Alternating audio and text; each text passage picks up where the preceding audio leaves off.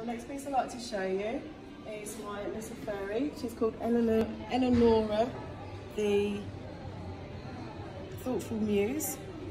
She has been um, made from a mould and then used various underglazes to make a really subtle uh, feature of, of her, her, um, her, her form.